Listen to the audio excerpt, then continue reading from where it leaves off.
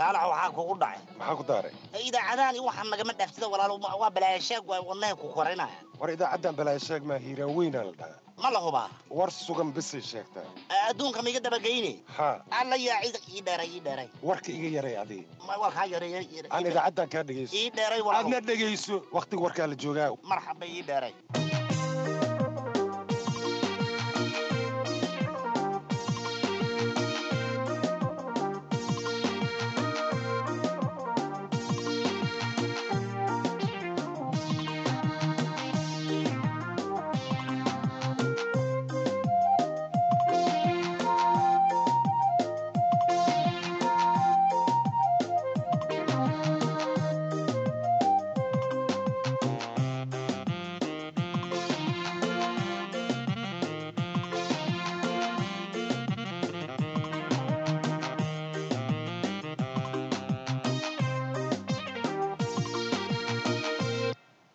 habeen wanaagsan dhegeystayaal ku soo dhawaada qodobada wararka raadiya hiiraaweyn caawa waxaa ugu dooroon maxkamadda ciidamada qalabka sida ee soomaaliya oo xukun ku riday askari ka tirsanaa ciidanka dowladda kaas oo si hoose ula shaqeynaya xubnaha ka tirsan kooxda shabaab. Madaxweyne hore maxamed cabdulaahi farmaajo oo faahfaahin ka bixiyay halka uu ka yimid safarka uu ku tegi doono deegaano ka tirsan ssc khaatumo madaxweynaha maamulka hirshabelle oo shir gudoomiyey kulanka golaha wasiirada maamulka hirshabelle uu ka qabsoomay jowhar. Ra'iisul wasaare hore cumar cabdirashiid oo ka hadlay wax markaasi wax kabeddelka dastuurka dalka oo xilligan khilaaf xoogan uu ka taagan yahay. Wafdi saraakiil uu hogaaminayay taliyaha ciidanka dhulka oo gaaray furimaha dagaal ee ka tirsan gobolka shabeellada hoose ciidanka dowladda dardaaran xooga siiyey wararka ka baxsan soomaaliya oo aan caawa idin helna waxaa ugu dooroon dowladda ruushka oo calankeeda hoos u dhigtay kadib weerarkii lagu hoobtay ka dhacay moscow. Soo gudbinta warkan waxaa idiin suuro geliyey shirkadda isgaadhsiinta somtel. Somtel waa shirkadda ugu wanaagsan shirkadaha soomaalida. Ku hadal iyo internetba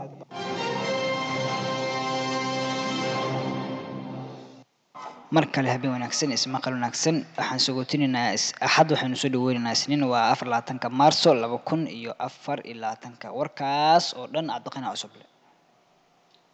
ما هتسن دياسين أسكري كس أسكري كتر سن دولة دفتر على كسومالية أو كتر سنة مدة سجال إيه تمن سنة أيا حكم لجوري ذيك دي مركي لجوه هلا وذا شقين ده حمرتي على الشباب ففاين تور كان وحينوها يوريها إن محمد بريره kormeero koowaad dowladda hoose daahir cali cabdi aamin garboole oo ka tirsanaa ciidanka miniishibada ee degmada afgooye ayaa loo soo xiray kamid ahaanshaha kooxda al-shabaab gaar ahaan qaybta didlaaca jaajuusnimada isagoo xogaha saraakiisha shaqaalaha iyo maamulka degmadaas u gudbi jiray kooxda al-shabaab xeelal kala duwan ayuu kasoo qabtay degmada afgooye ciidannimadana waxa uu qortay sanadkii laba kun iyo shantii isagoo kooxda al-shabaab ku biiray laba kun toban toddobadii waxa uu la shaqayn jiray madaxii amniyaadka gobolka shabeellada hoose ee magaciisa afgarashada uu yahay abtiga kaasi oo markii hore ku tashkiiliyay kamid ahaanshaha kooxda al-shabaab isfahan kadibna waxaa lagu soo xiray laba dhagar qabe oo ahmiyadda kooxda u jooga degmada afgooye waxa uu si joogtaha kooxda al-shabaab uu gudbi jiray xoogaha iyo dhaqaaqeeya maamulka iyo saraakiisha degmada afgooye waxauna qayb ka ahaa shirqool lagu dilay gudoomiye ku-xigeenkii hore ee amniga degmadaasi xuseen jabriil agosto laba kun laba labaatankii dilkaasna waxaa kala shaqeyn in lagu macaawiyo asirjiis oo hadda horjoogo guud ee ka tirsan kooxda al-shabaab oo ku dhuumaalaysanaya gobolka shabeellada hoose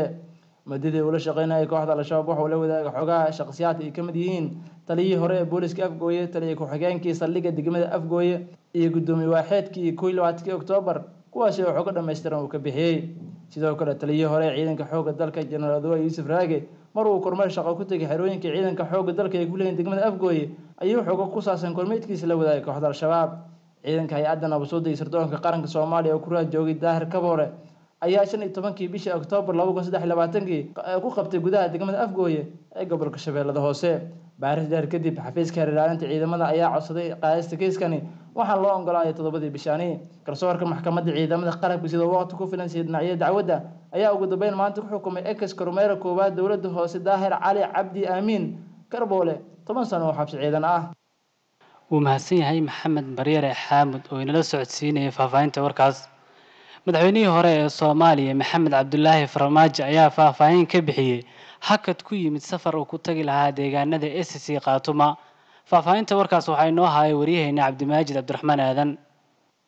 Madaxweynihii hore ee soomaaliya maxamed cabdilaahi farmaajo oo haatan ku sugan magaalada garoowe ayaa shaaca ka qaaday inuu dhowaan booqan doono deegaanada icc khaatuma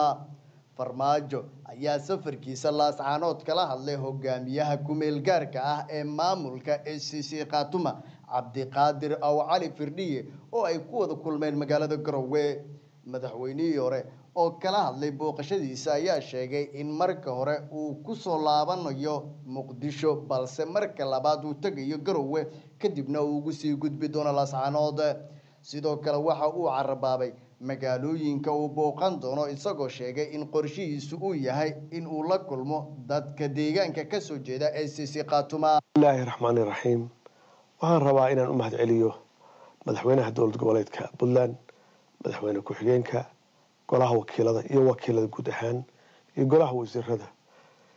iyo shacab weynaha reer puntland ee magaaladan garowe degan sida wanaagsan oo sharafta badan oo soomaalinimada waaltinimada leh ee aniga iyo wafdigeyga noo soo dhaweeyeen waxaan runtii la kulanay marxalad ee cimilada aada iyo aada u kulushahay. Bil ramadaan oo dee ummadda cibaadeysanayaan bacdama ay tahay bil barakaysan oo ay nagu adag tahay dadkii inaan qaabilno ama kulamo sameyno saasoo kale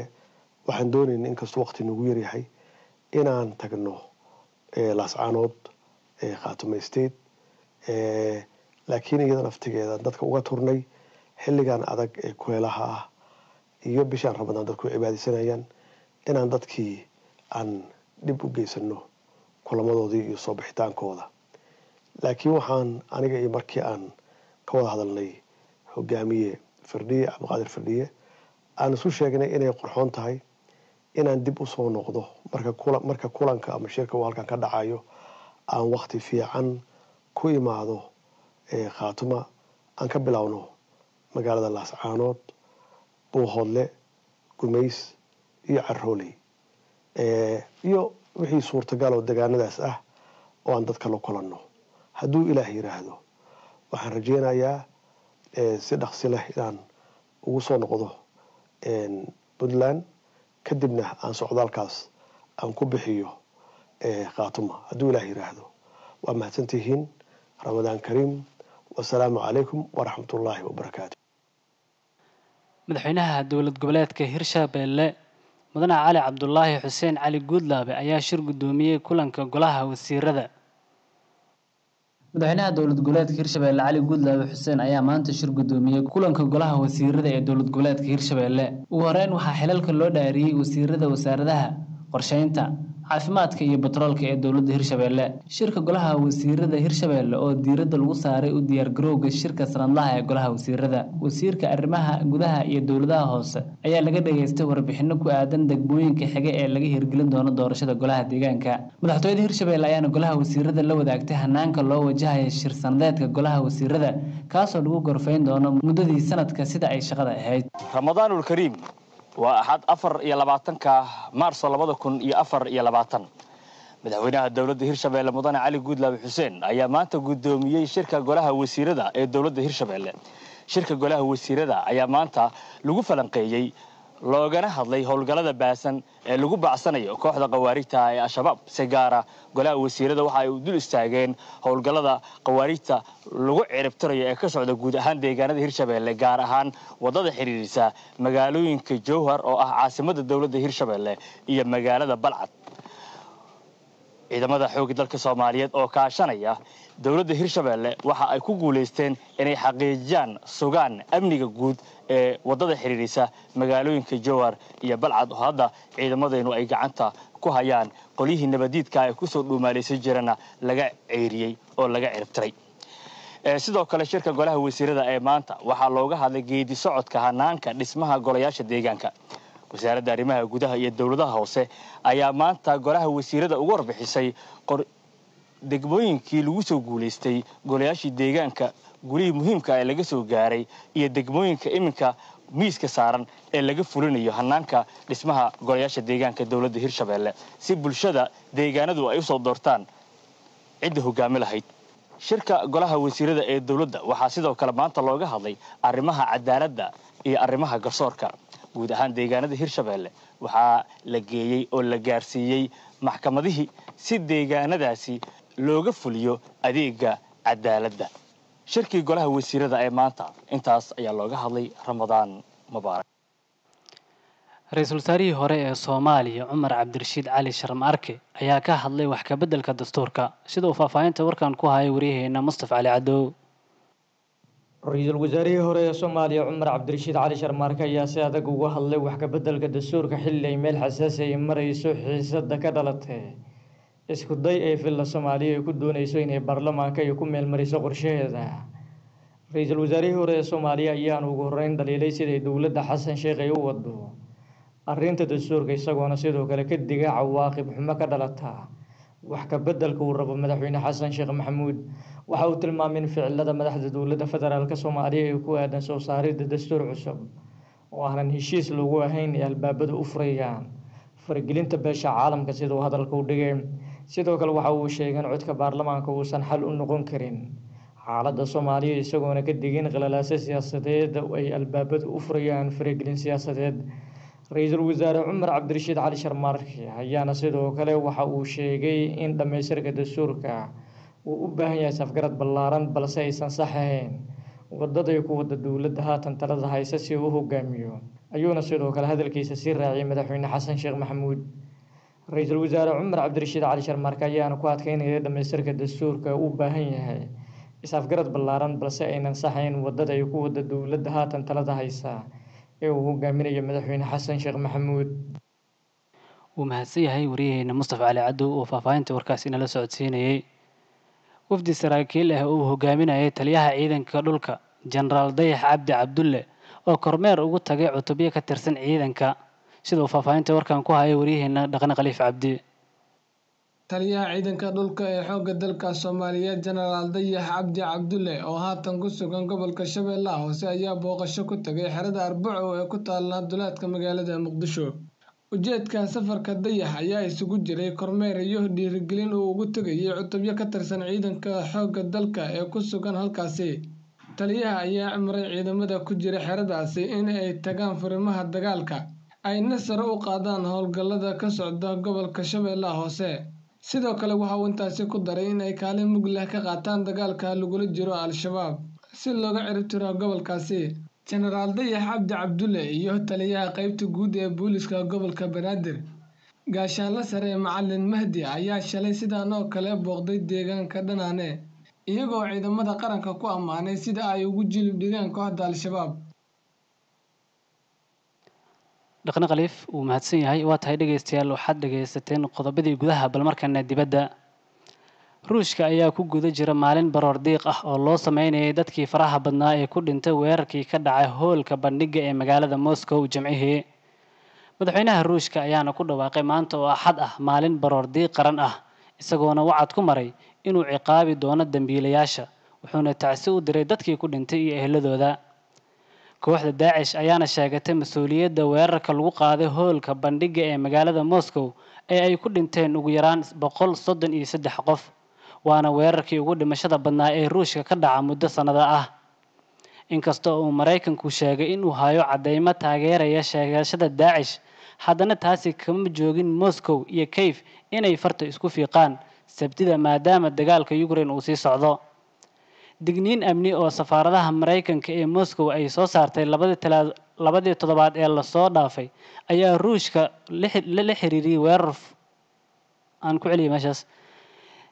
Digniin amni oo safarada maraykanka ee moscow ay soo saartay labada toddobaad ayaa loo diray ruushka taasoo lala xiriiriyey weerar soo fool leh. Afar qof oo looga shakisan yahay in afar qof oo looga shakiinsan yahay inay ka dambeeyeen weerarkii argagixisnimo ee jimcihii lagu qaaday hoolka magaalada ayaa lagu xiray gobolkaasi waxaana loo qaaday magaalada moscow. Halkaas ayaa hadda ku jiraan halkaas ayayna hadda ku jiraan gacanta guddiga baaritaanka ruushka sida ay sheegtay warbaahinta dowladda ruushka. Eedeysanayaasha ayaana lagu keenay laba gaari oo kuwa maxaabiista ah kuwaas oona weli yaalla barxadda guddiga. Maalmahaas soo socdo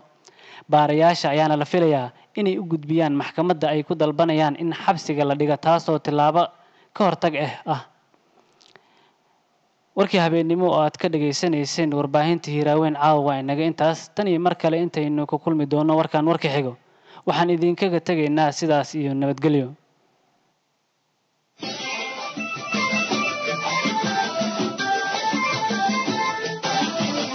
wararkii ugu dambeeyey ee ka dhaca gudaha dalka iyo dibadda ka dhagayso idaacadda hiraanweyn haddii ay ku dhaafaan waxa aad dib kaga daaraca kartaa iyagoo maqal iyo qoraal ah website-ka iyaga oo ah ama hiranweyn net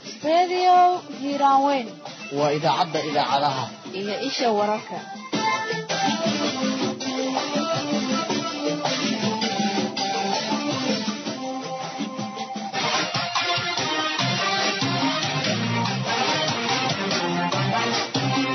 Dadka ku nool daafaha dunida waxa wararka iyo barnaamijyada ka baxa idaacadda hiiraanweyn ee magaalada beledweyne ay dib kaga dhagaysan karayaan. Barka internetka ee hiiraanweyn net ama hiiraanweyn com